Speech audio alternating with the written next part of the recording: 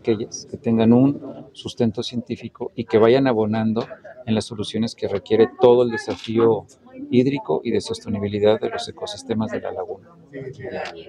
Este, y se esperaría este, eh, que empiece, vaya, ya una vez que, las, que los, las propuestas este, reciban, vaya, los apoyos, ¿cuál será el trabajo? ¿Cuánto tiempo va a durar? Eh, estos proyectos se van a respaldar durante un año que pueden ser prorrogables.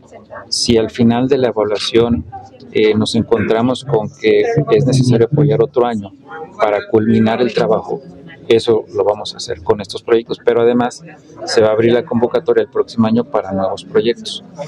Eh, la idea es que cada año estemos abriendo convocatoria. Insisto, puede ser que algunos proyectos estén en la categoría de apoyos multianuales debido a la especificidad que tenga cada. Cada proyecto. Y bueno, de alguna manera este, se, se contribuye con esto a, a, a sanear, vaya, toda esta, esta, esta situación, vaya, que vive esta zona este, protegida, ¿no? Que es muy Claro. grande, son más de 3.000 hectáreas, tengo entendido. Así es, eh, y hay eh, zonas este, que son de amortiguamiento, son más núcleo.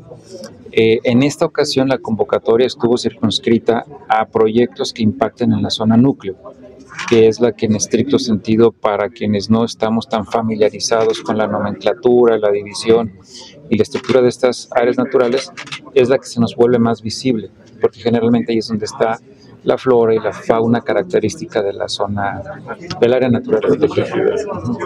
¿Cuál fue el total de participantes en estos? En estos Fueron proyectos? cuatro proyectos eh, específicamente para esta convocatoria, pero llegaron seis proyectos y una propuesta de, eh, ¿cómo se llama?, de recursos concurrentes. ¿Por qué dos proyectos no los eh, metimos a esta parte de la convocatoria? Porque estos tienen que ver con la cuenca alta. Más adelante vamos a hacer un nuevo anuncio respecto a la cuenca alta para estos dos proyectos. Y el otro es de un ejercicio concurrente donde una asociación nos propuso poner una cantidad para que el fondo la duplicara y con ello poder tener una cantidad mayor de intervención. Entonces, eh, de este total se eligieron tres, que son los que en un momento daremos a, a conocer. Ahorita que hablo de la cuenca alta, pues uno de los proyectos o programas que apoyaban esta, esta área, pues el, el programa Irritila, ¿no? Sí, de hecho, prácticamente el 100% de los fondos del programa Irritila provenían de las empresas que conformamos el fondo. Vamos a continuar, solo que ahora bajo este esquema en el que todos los proyectos que se presenten estén tamizados, evaluados y filtrados por el comité científico, Ah, muy bien.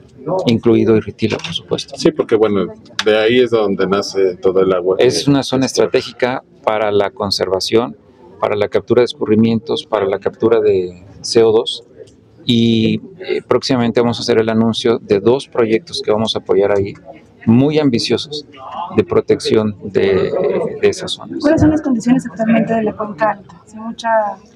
Mira, yo ahorita no me quisiera pronunciar porque vamos a dedicar una rueda de prensa específicamente a esa zona con las dos organizaciones que vamos a trabajar y justamente presentando un panorama completo de la zona.